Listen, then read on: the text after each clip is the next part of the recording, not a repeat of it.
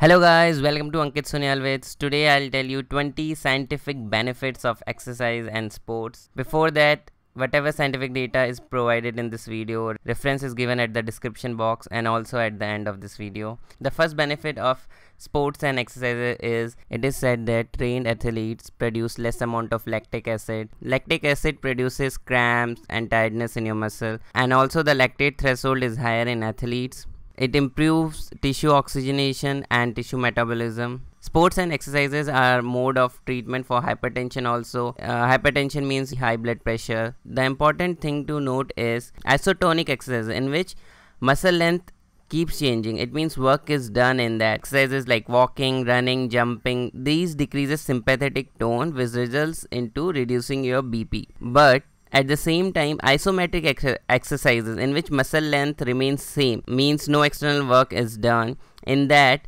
uh, something like weightlifting, pushing the wall are harmful for hypertension patient because blood pressure remains elevated in them. So isotonic exercises is good for hypertension and heart patients and isometric exercises are harmful for hypertension patient. It reduces the number of brain stroke and kidney diseases as it will keep your blood pressure within the normal limits. It is helpful for chronic mi myocardial infarction patient or heart attack patients. Uh, generally in the heart attack or myocardial infarction this coronary arteries are blocked. So it will improve their perfusion and it will cause neovascularization of myocardium. Means a new vessels would be formed like for the blood supply of your heart muscles if they are blocked then uh, with the help of exercises and sports a new vessels would be grown at the same place. It also increases cardiac reserve. Means it will increase the ability to increase the cardiac output in the time of need. What it does is basically it maintains your heart rate but it will increase the stroke volume which will ultimately increase the cardiac output.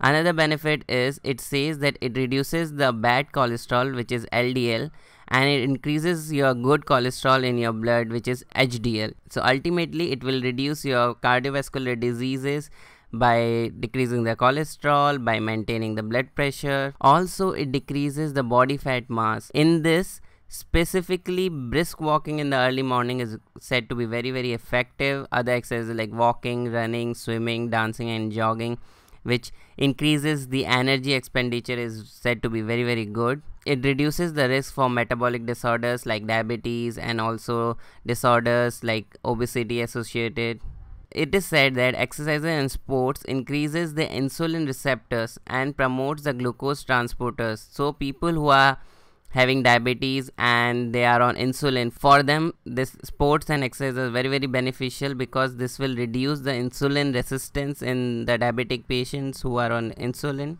Exercises stimulate osteoblastic activity. Osteoblasts are, are kind of a cell uh, in your bones which will increase bone mineral metabolism and will preserve the geometry. So it's good for your bones. So it will prevent osteoporosis. Osteoporosis is the weakening of your bone at the old age. And it is also proven that if there is a immobilization or inactivity which will stimulate osteoclastic activity which will produce the bone loss.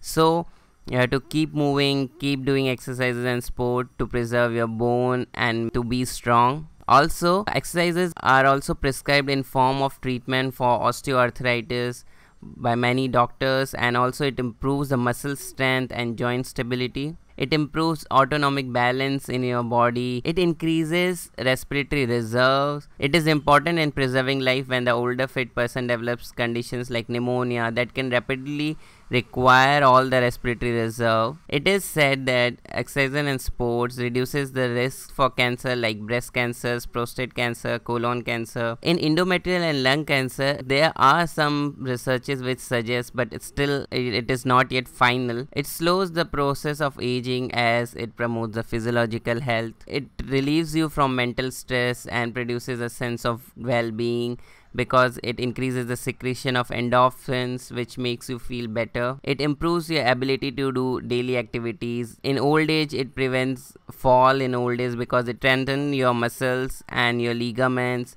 and your joint stability. It is also said that exercise and sports are effective in attenuating the risk of premature deaths among men and women. And overall what i can say is sports and exercises improves your quality of life which is recommended for everyone. So medically it is proven. If you want to go through numbers 35% lower risk of coronary heart disease and stroke 50% uh, lowers the risk of uh, type 2 diabetes 50% lowers the risk of colon cancer 20% lowers the risk of breast cancer 30% lowers the risk of early death 83% lowers the risk of osteoarthritis 68% lowers the risk of hip fracture 30% lowers the risk of falls 30% lowers the risk of depression 30% lowers the risk of dementia. Here is the reference for the content of my video. You can go through you can check them out for more detail. And for more videos don't forget to subscribe to my channel ankit Suniyal tata bye bye see you guys in my next video. Keep doing exercises. Stay fit and be healthy